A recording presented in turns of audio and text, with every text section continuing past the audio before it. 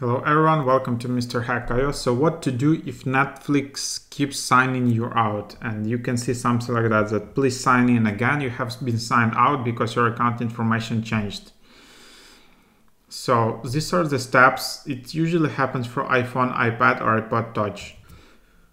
First, what they recommend is just checking for firmware updates and just be sure that you have the latest software from Apple and then you need to update the Netflix app as well. Just go to home screen, tap App Store, tap Updates, locate Netflix, and just click Updates.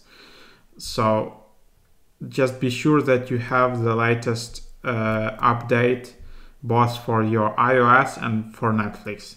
If after that this error continues to like to persist, so you just can call or start live chat with Netflix support. You can also call them from Netflix app, either on iOS or Android. It's super handy. It's free using internet to cellular connection here.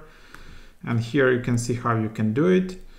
Yeah, so that's it guys. Probably it helped. Thanks for watching.